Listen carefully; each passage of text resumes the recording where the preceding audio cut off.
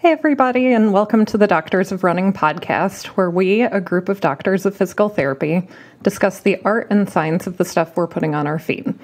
We've got a really special guest with us here today. We've got Dr. Mike Staropoli. He's a physical therapist. He's also a board certified orthopedic specialist and a certified strength and conditioning specialist. Um, Mike is the founder of Goal Physiotherapy and Sports Performance in Westport, Connecticut. He's the former PT for the New York Red Bulls soccer team and current PT for individual Red Bull sponsored athletes. So, thank you so much for joining us today, Mike. We're so happy to have you on.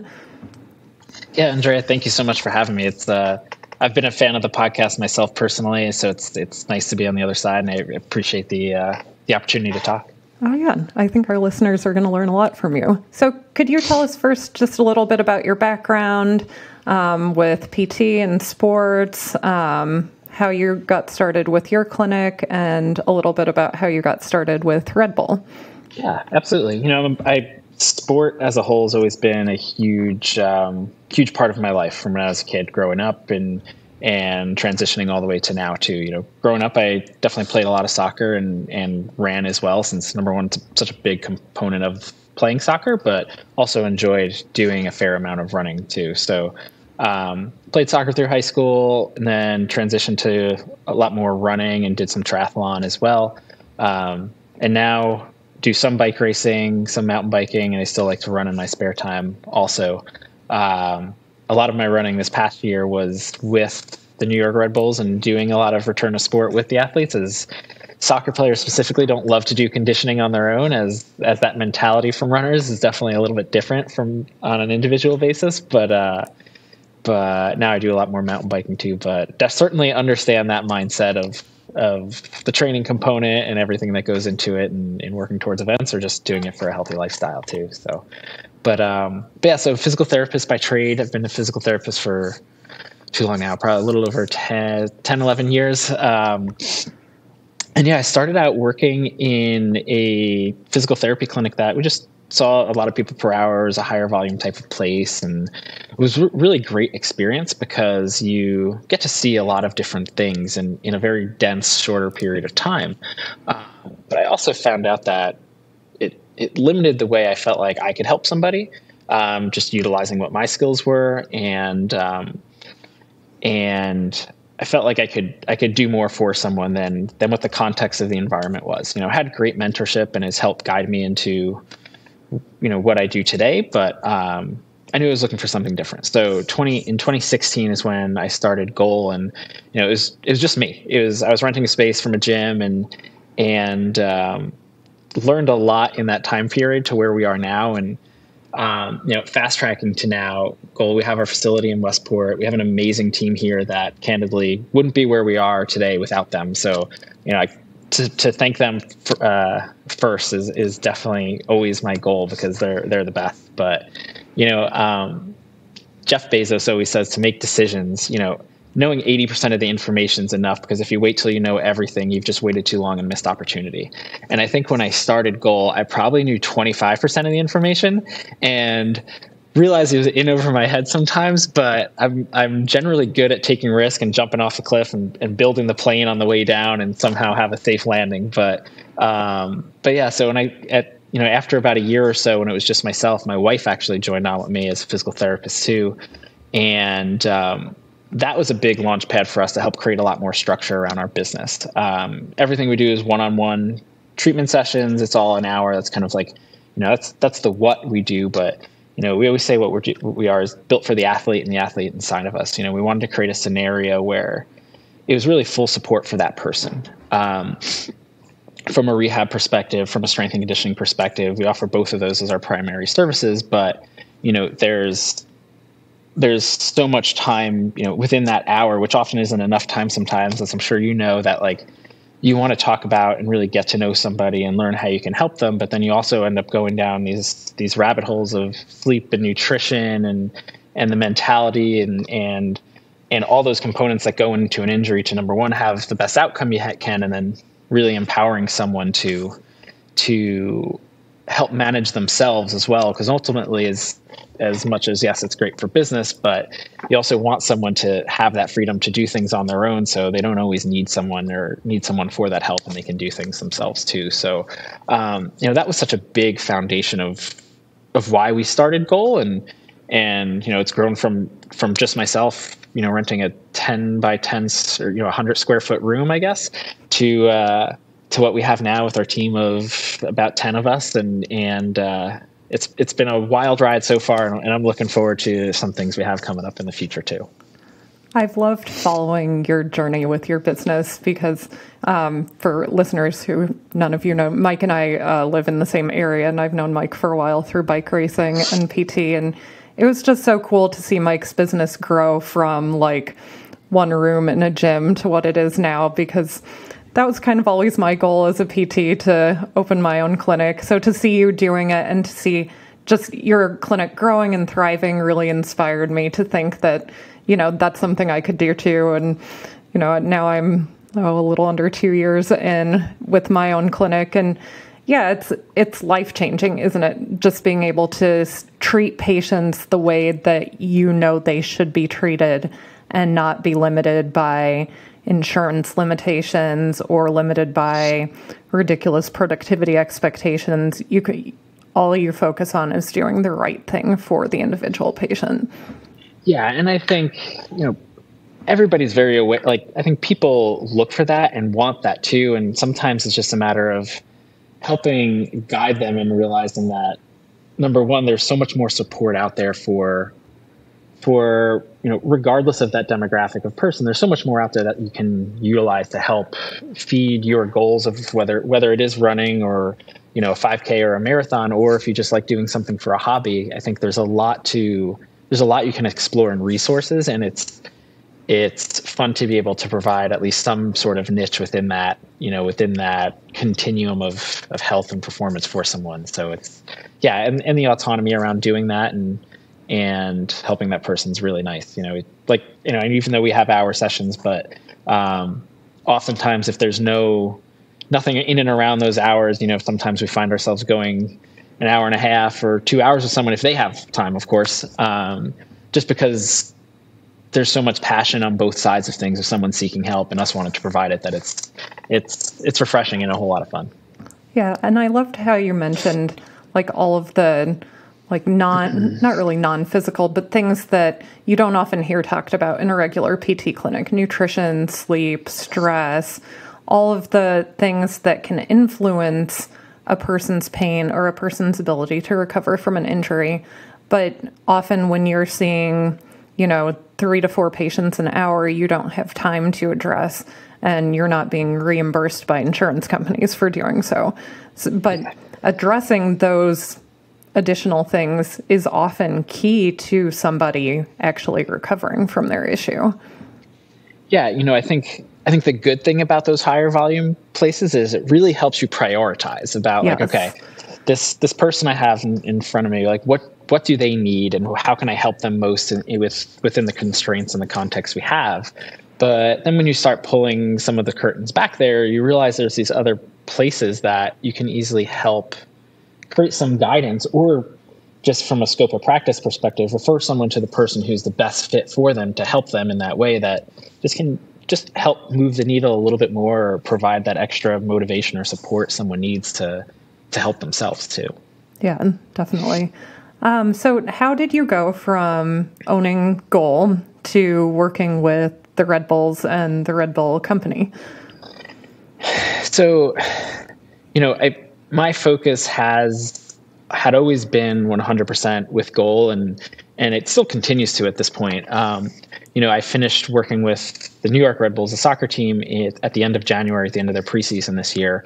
Um, mainly because the lifestyle of it is challenging and I've I've my wife at home we have a two and a half year old at home and and they are certainly my number one and and um, and it you know working within in professional sports in a lot of ways is an all-in type of commitment and it's it to find that balance is challenging and um, and it was just the time for me that I, I knew I had to make that decision about what's most important for me but um, how I got involved with that was uh, a couple years ago. I interviewed for another team and just remained in contact with them because they're they're also local.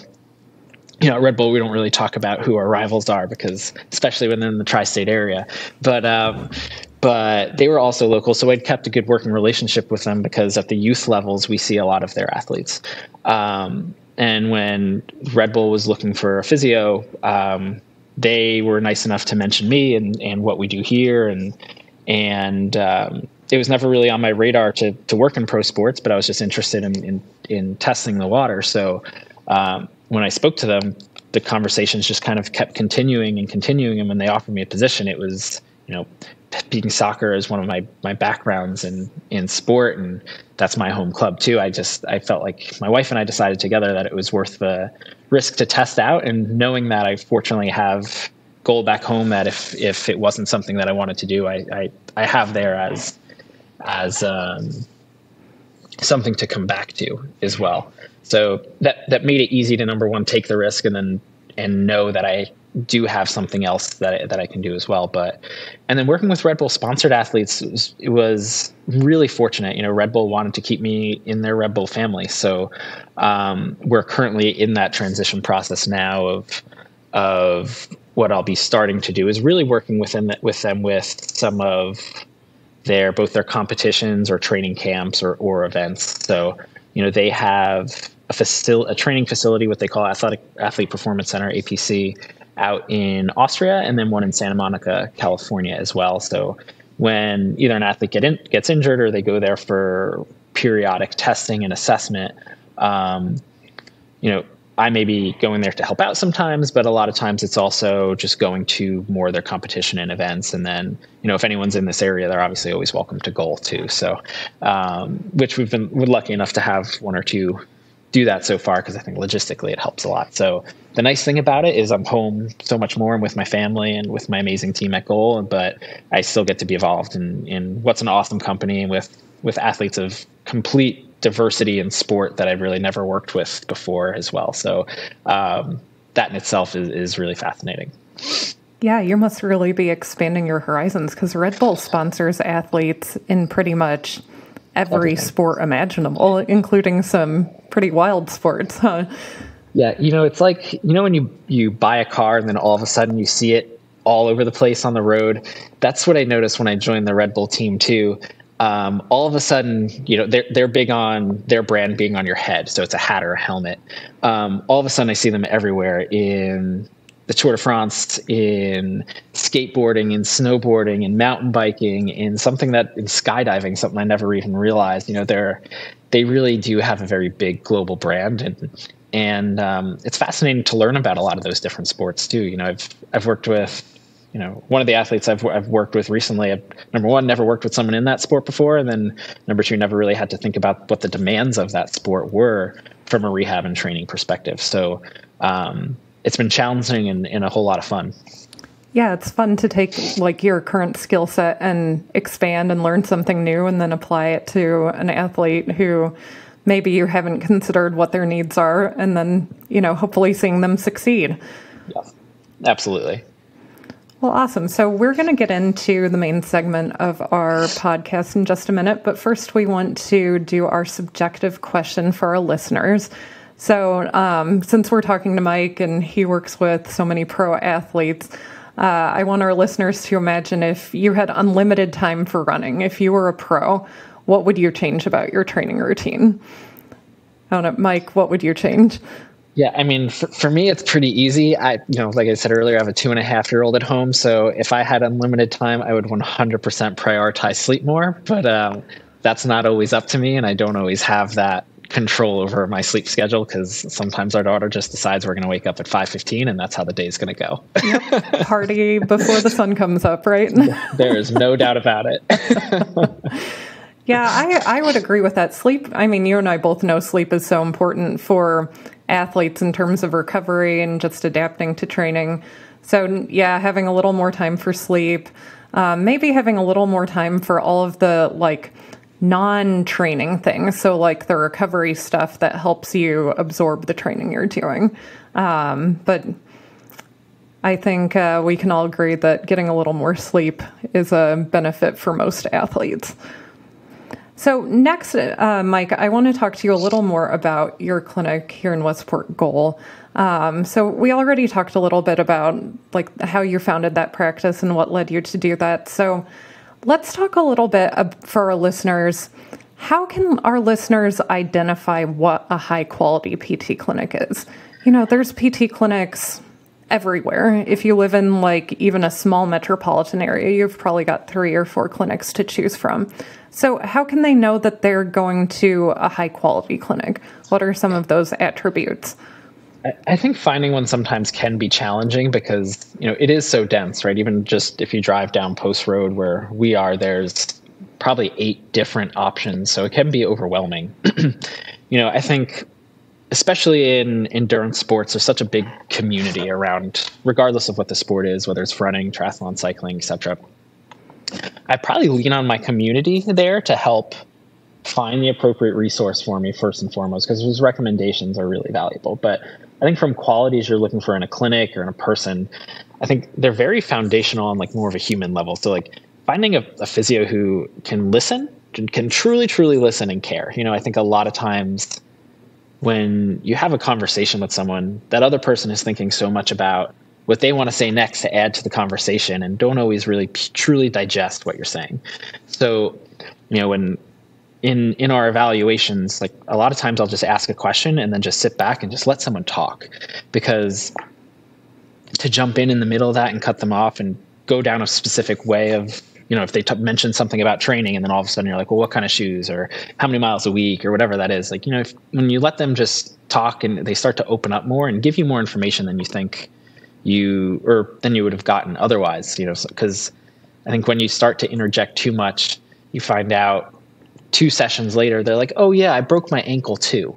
It's like, what do you, why didn't that come up in past medical history? And I think sometimes it's because they can't really get into a flow of communicating that well. So I think that's one of the biggest and most important skill sets you know a, a, a, good physio can have at a, at a good facility. I think you know with the community around endurance sports, I think community around the place you go to for rehab and training is is really important. That they share the same values and health, and lifestyle and performance too. I I don't necessarily think someone if you're a runner you need to go to a always have to go to a run specific facility because I think you know, at least here we try to take like an athlete first perspective. So we think there are really kind of core things as an athlete or as a person you really should be able to do from a health and, and performance perspective. And then that last 10% is really what differentiates the cyclist from the footballer to the to the mountain biker or something like that. So um, that good community and culture about where you rehab and train is is awesome. And then somewhere that empowers the client to learn and to take ownership too. You know, I think sometimes when we have an injury, you, you may see so something say, see this as well of like someone falls on you to for you to give them the answer. And as much as we might help guide them and figure that out, it really comes down to them really feeling like they can take ownership over it and they don't need to always just rely on somebody. So I think if someone's truly listening to you and it's a place you feel motivated to be and that can support you, and you leave there feeling empowered that you can do it yourself, I think that's that's the most important thing. And I think more so than being being a physical therapist, I think that's probably one of my better skills, more so than helping someone with actual rehab, but just helping someone kind of open the doors and realize they can help manage it themselves too is is is probably one of my better skills. But those would probably be the top three things I would look for in, in a place. And and somewhere that's that from a physical perspective is just built out to support some you know someone like you as well. You know even here like we have a strip of turf so people can run sprint change of direction stuff like that. Whereas in some types type of facilities they may not really be built out to help support someone in that nature also right yeah yeah i love that um, you know getting back to what you said about listening it brought to mind a couple of things one the famous quote i think from dr william osler who said listen to your patient, he will tell you the diagnosis. And it's so true. If you just let somebody talk, they will give you so much more information than if you keep interrupting them with specific questions. And the other thing is, I remember that there's some research study that found that, I think it was done on primary care doctors, but that on average, patients are allowed to talk for like two minutes before their doctor interrupts them. Right. And that it's a good thing for all healthcare practitioners to remember is that keep your mouth shut, let your patient talk. You will learn so much more from listening than from interrupting and asking like forcing the conversation to go in the direction you think it should go. Because you might miss like that them telling you about their ankle fracture that absolutely could be involved in the knee or the hip pain that they're there to see you for. I mean how many times have you seen a patient who comes in they're like yeah i went to my doctor and they saw me for two minutes and i didn't even ask six of the questions i planned on asking. And, and a lot of times that's that ends up being the reason why it's because they don't feel like they have control of, of that situation. And I think right. just stepping back and listening just allows that that client to help really take control for themselves too. Yeah, and you know, I think you and I both started out when you started as a PT. Were you on electronic medical record or paper Ooh. documentation? It's bad that I can't remember. Um, I think I think we were already on EMRs, but it but it was recent. It was probably okay. within 18 months prior to that because I had worked at that company prior to being a physical therapist that I think we made that transition. I think. Well, I'm going to date myself then because when I graduated, definitely still on paper records. And mm-hmm. having a laptop between you and your patient really interferes with communication. So I really tend to either put the laptop aside and just listen and then say, okay, give me a minute so I can write this down. Or I just keep it aside and I document like periodically throughout the visit because having that impersonal object of a laptop between you and your patient, especially somebody that you're meeting for the first time, can really just interfere with first developing a rapport with that person, but also them feeling comfortable enough to open up to you and give you the information that you need to help them. Yeah, no, for sure. I think um, we we have an internship program here too for strength conditioning and for for physical therapy for clinical rotations and one one thing I always do when I'm talk when I talk to them I was like I take out my phone and hold it in my hand right and I'll have a conversation with them. And then afterwards, I'll be like, hey, how did you feel about me holding my cell phone in my hand? They're like, well, it kind of distracted me and I didn't really hear all you're saying. I was like, exactly. Right. So it's like, when we're here, we're here for the person that's in front of us and we shouldn't have those things as a distraction waiting for a text or a message, even if it's from a doctor. Like we can check that at an appropriate time. Right. It's so not having those things there is is valuable in terms of the full, you know, client experience too. Oh, absolutely. Yeah.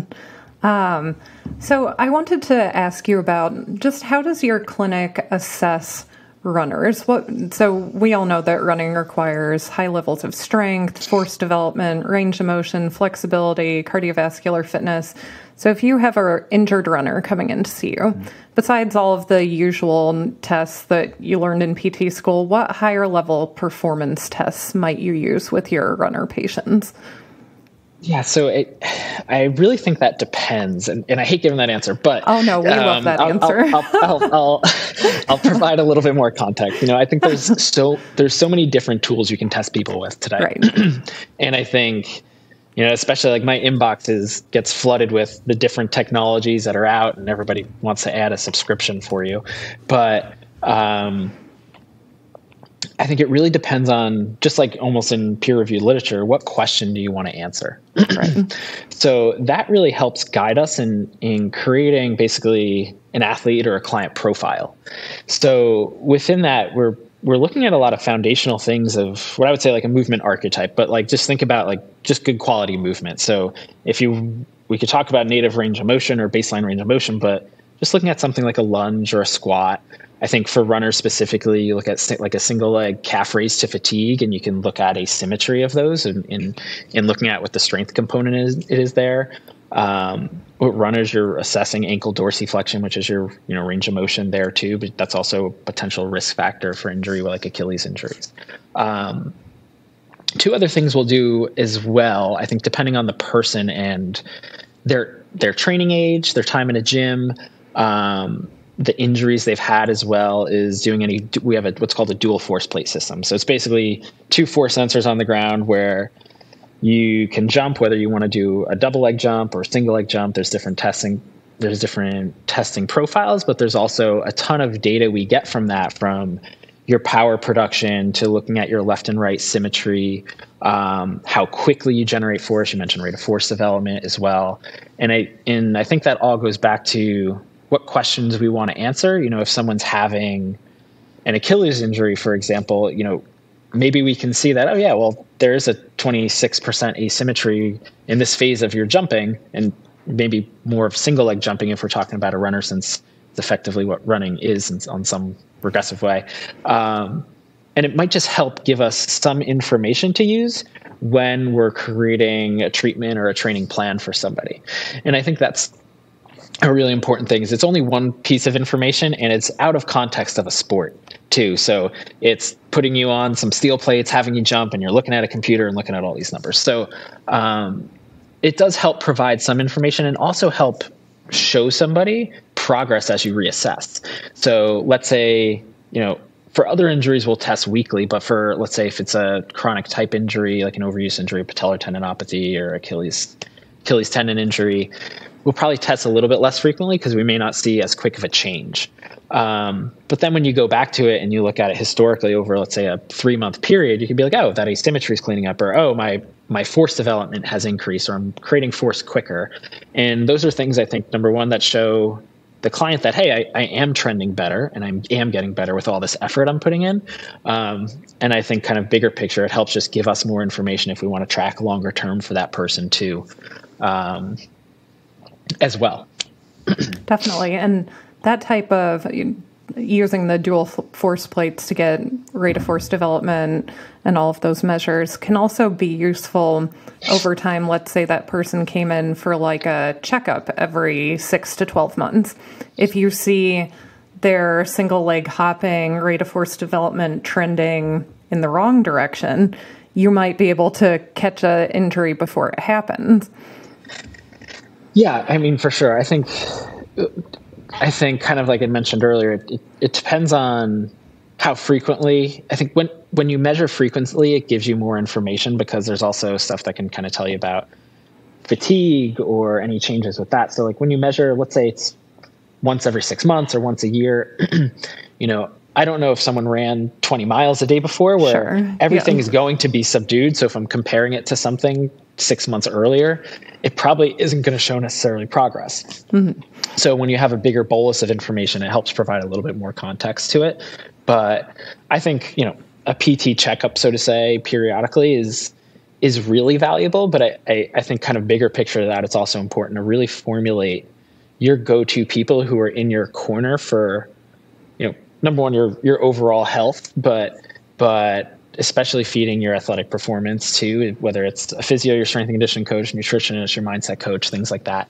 You know, there are things that are readily available on at the professional level, but I think in today's world, it's much more accessible now for all of us more amateur athletes too. So, um, but yeah, no, I think that's having some sort of PT checkup or or um, you know, kind of like you'd have your annual physical with your general practitioner is, is definitely a valuable, a valuable tool and use of time.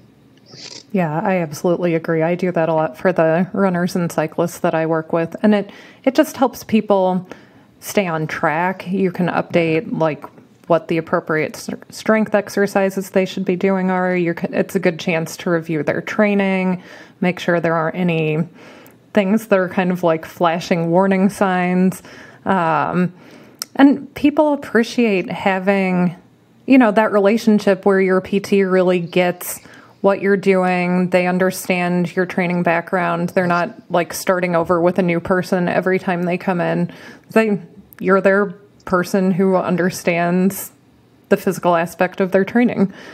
Yeah, and I and I think it it provides a platform they can easily ask questions. Mm-hmm. Um, and I think in especially within running, a lot of times injuries can be when I say more chronic, they like creep up a little bit slower. Mm-hmm. You know, mm-hmm. in, in, soccer, we oftentimes, well, if we have a hamstring injury, like you can, you know exactly when it happened. Oftentimes, especially at Red Bull, like we'll have it on film in training or in a match, so you can watch it happen. And when you look back at it, um, and there's a specific mechanism there. Whereas if it's a if it's a running related injury, sometimes those are chronic load related type injuries where you know that six month or year checkup might be enough to just have that conversation of they're like yeah you know my achilles every time i run starts to feel a little sore but you know 12 minutes in it starts to go away and doesn't really hurt again until a half an hour afterwards. It's like well let's dive a little bit deeper into that and maybe we can create some sort of plan or, or solution based plan to make sure it doesn't become anything more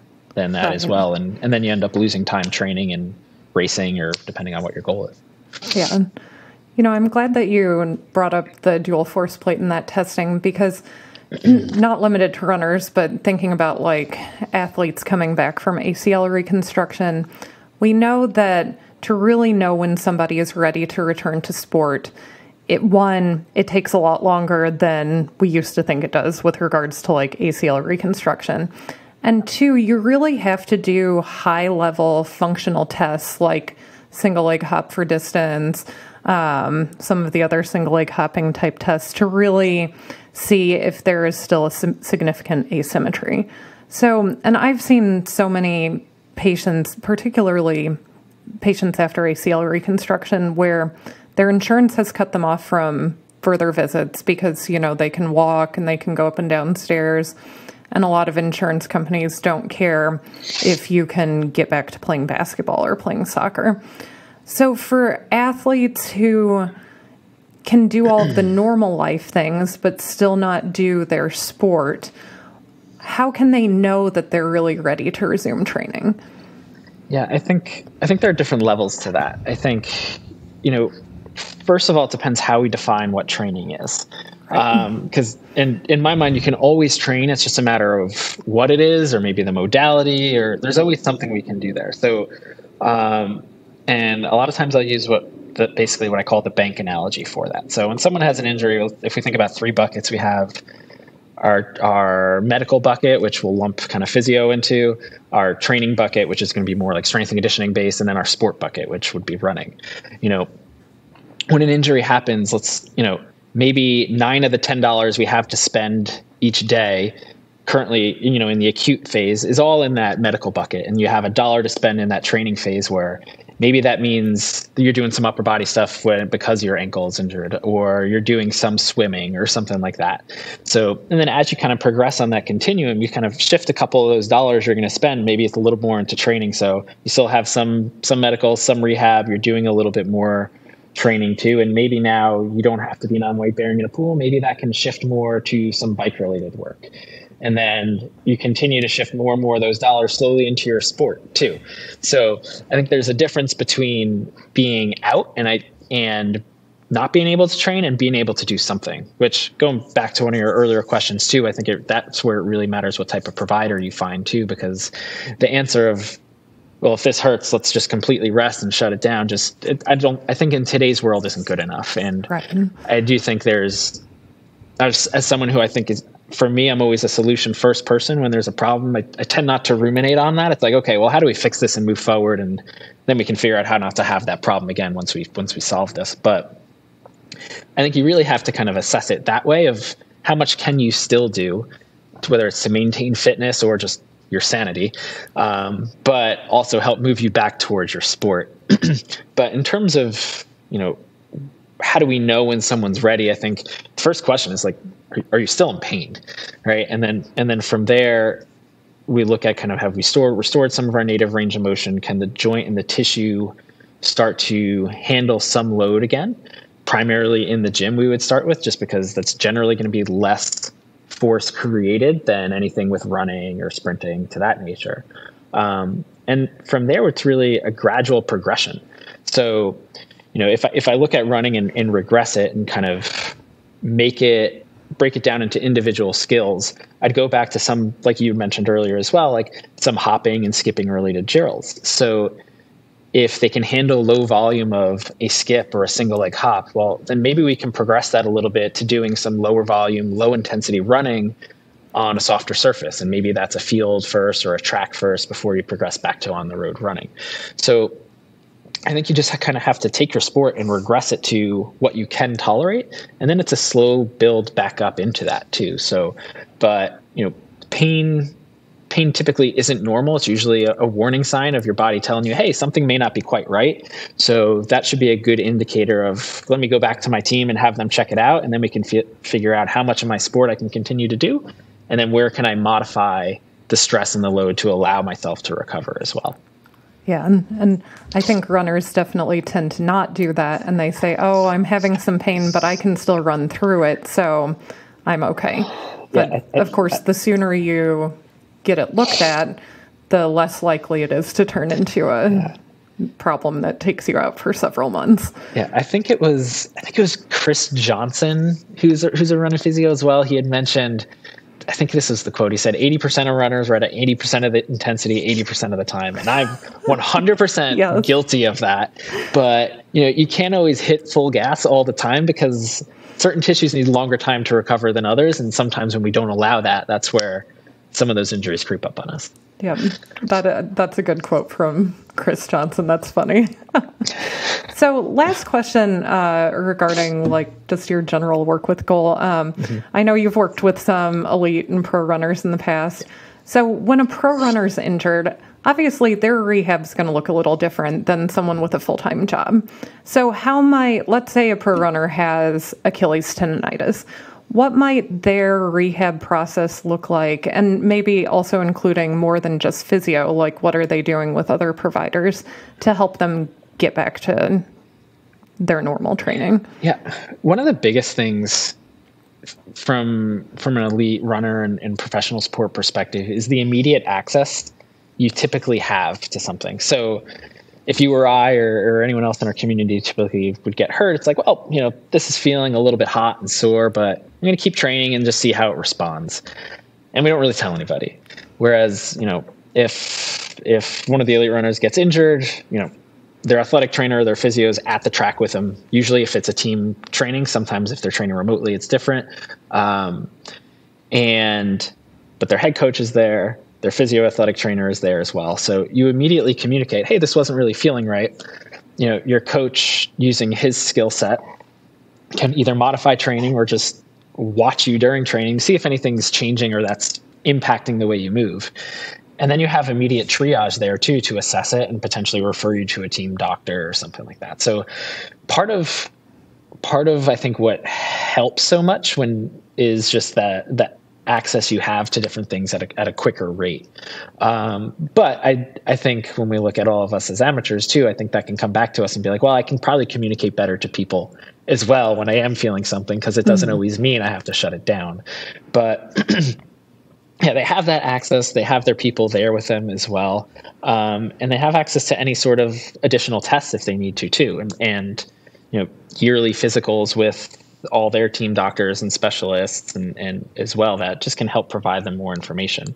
Um, so, and yes, they have a little bit more time in the day, but believe it or not, similar to the same challenges we have, whether it's sleep or nutrition or anything, they fall victim to those same things too. So, you know, I, with, with my runners, I haven't had those type of conversations as much, but my soccer players, I 100% have. So, um, so they have a lot of the same challenges. They just have a little bit more time in the day to deal with it, and a lot of it is, you know, you look at some of the things where that that are half percent. So maybe a little bit more often, I get some soft tissue from my physical therapist because that can help desensitize the area prior to training and running that can just make it a little bit more successful. So sometimes it's those little things that just kind of help get you through the day, and then it allows you other time frames where you're going to dive deeper into it and work on it maybe after some key A races or, or anything like that too. So mm-hmm. yeah, they have a little bit more support than we have at a more immediate level. Yeah. So I, you know, in thinking how amateurs can learn from the pros, I think you hit the nail on the head. Like they have immediate access. And one thing that amazingly a lot of people still don't know is in most states, I think it might actually be all states now, people have direct access to physical therapy. So, by law, you do not need to see a doctor and get a prescription to go see a physical therapist. Now, your insurance company might require you to get a script for them to pay for it, but you can always see a PT outside of your insurance, with Medicare being the exception, but we won't get into that here. Um, without waiting to see a doctor. So I think people who are amateur runners who are starting to feel like a little twinge in their knee or their Achilles or their back, just go see your PT that you know and have them check you out. And it is better to get it looked at earlier than later.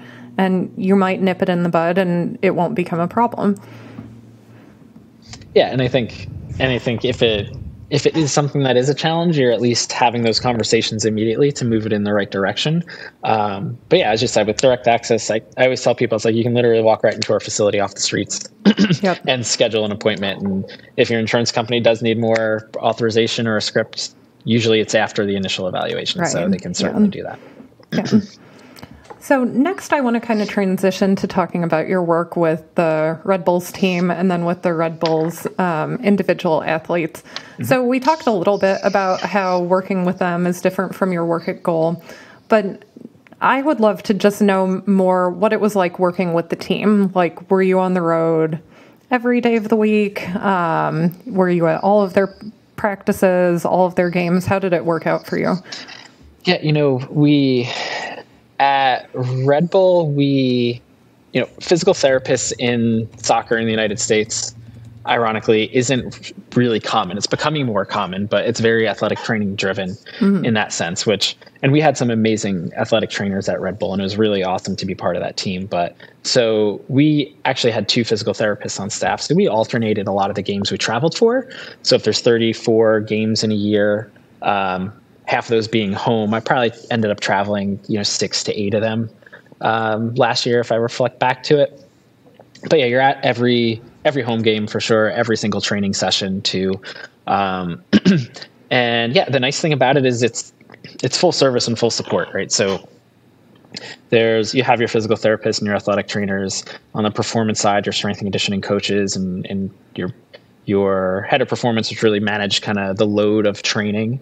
Um, you know that would that would be analogous to you know the the weekly periodization of a running plan is what kind of the head of performance does too.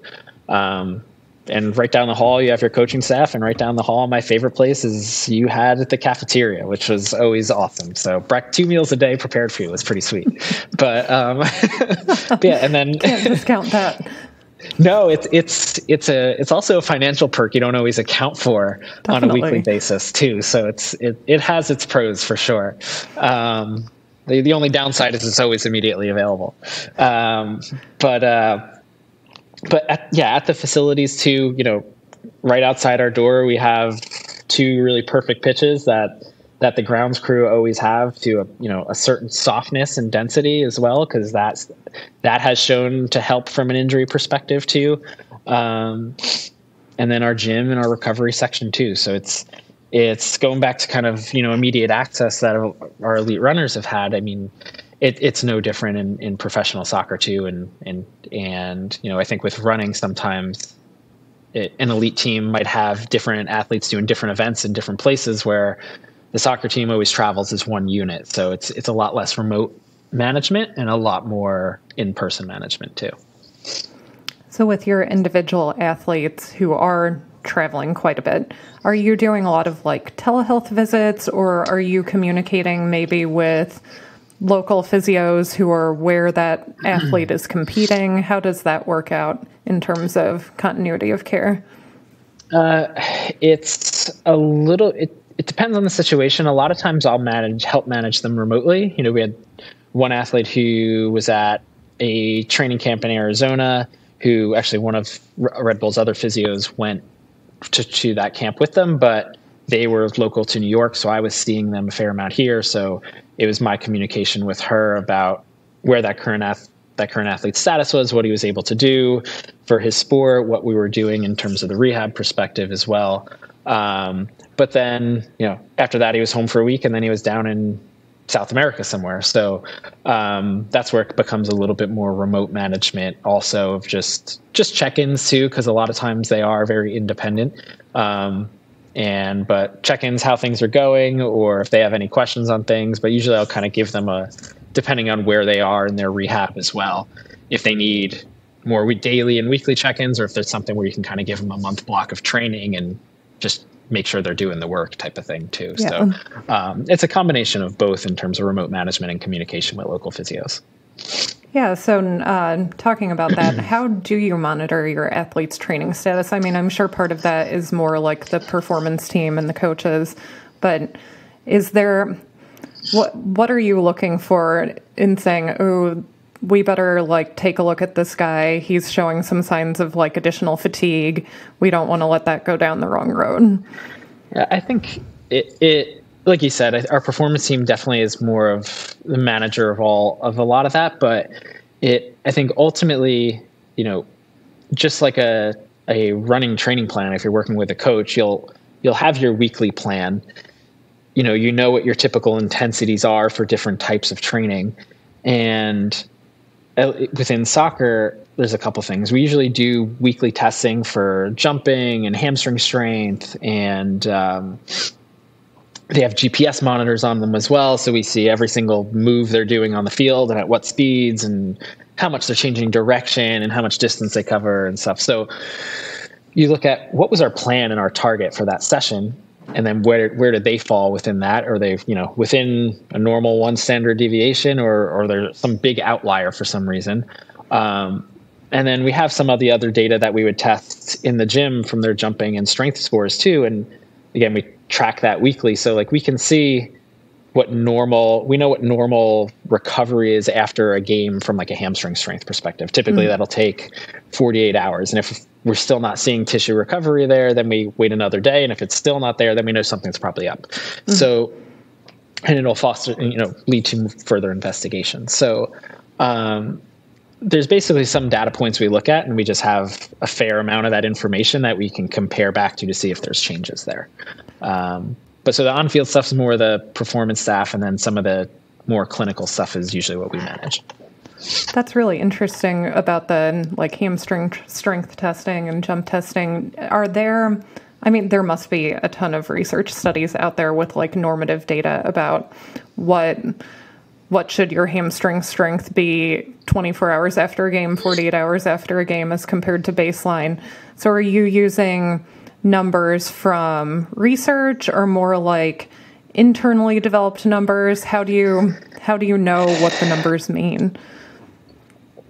Yeah, that's a really good question. So, you know, we always use evidence and, peer-reviewed literature as one way to support our decision making, but you know, it, it's depending on who the player is. You know, if we're talking about hams, a hamstring injury, have they ever had a hamstring injury before?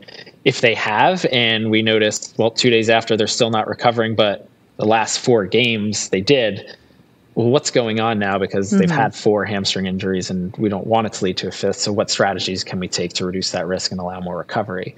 Um, if they haven't had a hamstring injury, they're not mentioning any soreness or delayed onset muscle soreness or any pain, and nothing's changing with how they move. And we'll probably be a little bit more comfortable with them being more participatory in training after after a day off and after a regen session. So it it depends on the person and the scenario, their mm-hmm. past history, and you know their age too, right? You know the two biggest predictors of, of injury are previous injury and being an older athlete. Yeah. You know, so so if they're if they're younger and haven't had an injury, that's going to make us feel a lot more comfortable than if they've had a bunch of hamstring injuries and they're one of the senior guys at the team. Mm-hmm. Yeah, that makes a lot of sense. So, you mentioned that the athletes wear those GPS devices, which for people who have watched soccer, it's they almost look like I think they kind of look like sports bras, but they look like cutoff vests. And soccer players run a lot in games. Like, what's an average distance for like a, um, an offensive player in yeah, a game? You, usually, you'll see players on the team running anywhere between 10 and 12 kilometers in a match. that is a lot of running. So, but that being said, it's it's very different than you know, if you were a runner and running tw- 10 mm-hmm. to 12K, that may be a little bit more of a steady state type of effort, or, or at least if it's a race, you're basically kind of pinning it to your threshold for that time potentially. Mm-hmm. You know, there's, you know, of that 10 to 12K, only let's say three to 400 meters of it is, is sprinting. And you know, you might have five, 500 to a thousand meters of it is what we'd call high speed running, which is basically like a high hard tempo. Um, the rest of it is jogging and, and walking and, and stuff like that too. So there's more that goes into that distance number. And I know, mm-hmm. you know, mm-hmm. if you watch the World Cup or something, they always highlight those numbers, but there's a whole lot more that goes into it than just what that number is. And, you know, it, it's less about the, the total distance and more about some of those higher intensity moments or, you know the the accelerations and decelerations that happen on the field too that are going to be more of the high risk moments that we would track of mm-hmm. in terms of the volume of them. Um, but yeah, they give you plenty of information about what a player is doing on the field, which is mm-hmm. pretty cool. Yeah, that is awesome. So, like you mentioned, and you know, most people realize runners and soccer players both do a lot of running, but their training and the type of running they do is very different. But is there anything you think that our runner listeners can learn from the way that soccer players train for their running? Yeah, you know, I think at, you know, if we're talking about like a professional soccer club, um, the variability in training, you know, with soccer, we there's a lot of variables you can change from from a training session, whether it's the size of the field. So the bigger the field, the more distance it is, and the less change of directions, but you might get more access to high speed or top speed. Mm-hmm. Shorter fields is a lot more acceleration, deceleration, but not a lot of total distance, which speed a whole lot more high intensity. Um, and we know there's normal recovery times of a lot of those different energy systems. So, whereas going back to the comment I mentioned earlier about Chris Johnson running 80% intensity 80% of the time, I think a lot more variability in your training is so valuable. You know, whether yes. it's a tendon injury or or bone stress injuries, those things, you know, after a higher, harder training session, take a certain amount of time to recover. So if you mix in a little bit of low intensity periodization into that, it allows enough recovery to keep you moving forward instead of having to press pause or taking some steps back. Mm-hmm. Yeah, and conversely, like if you're training for a marathon and doing a lot of like you know, tempo slash zone three slash marathon pace training, still throw in some strides at like mile or two mile pace a couple days a week just to keep training both those energy systems, but also introducing different load to your musculoskeletal system. Yeah, you know, it's one of the one of the runners I work with. He runs middle distance. He's a one mile runner, and but he still runs between 70 and 90 miles a week you know and obviously that's a very different level than than many but you know it's still a really large aerobic base and plenty of higher threshold work but a lot of lower threshold work too. So mm-hmm. um, you know that variability is really important just to create a more well well rounded and first and foremost healthy runner. Definitely so, you know, Doctors of Running is primarily a uh, shoe site, so I can't let you go without talking about shoes. So, yep. running shoes with PEBA, which is like the super foam that's in the Nike Vaporfly and Alphafly, have really revolutionized the running world. Like, world records are dropping right and left in every distance. And some soccer cleats have PEBA midsoles now. Um, Nike has one, Mizuno has one, Umbro has one. So, have you and like are your athletes wearing those shoes? I'm sure it depends on sponsorship, but in the soccer world, do people care about PEBA the way that runners care? Not quite. It, I don't think it's made as big of an impact there yet. I mean, it's clearly revolutionized running in the way you just mentioned. You know, with with soccer, we look at a couple different things in terms of you know the upper and what's made of the cleat because you also need that tactile stimulus of feeling the ball at your foot. And then there's different there's some shoes that have like a, the carbon insert that just make it a little bit stiffer shoe.